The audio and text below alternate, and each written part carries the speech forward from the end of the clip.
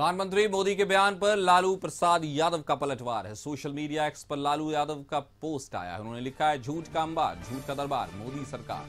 झूठ की कतार, झूठ शानदार, मोदी सरकार।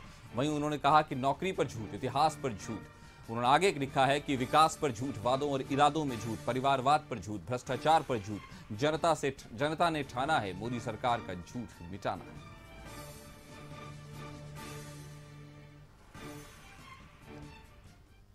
लालू यादव की बेटी मीसा भारती ने पीएम मोदी के बयान पर पलटवार किया है। परिवारवाद वाले बयान को लेकर मीसा ने कहा कि महँगाई और बेरोजगारी के मुद्दे छुपाने के लिए परिवारवाद की बात करते हैं।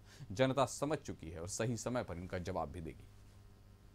यही, लालू जी हमेशा यही कहते हैं कि देश खतरे में है, संविधान खतरे में है। ये कहना कुछ इनके कथनी और करनी में बहुत अंतर है। कहते कुछ और है, करते कुछ और है। आप देख लीजिए ना, दस साल में जो इन लोगों ने वादा किया, दो बार तो देश की जनता ने इनको मौका दिया। इन्होंने क्या किया है? देश के लिए इन्होंने क्या किया है?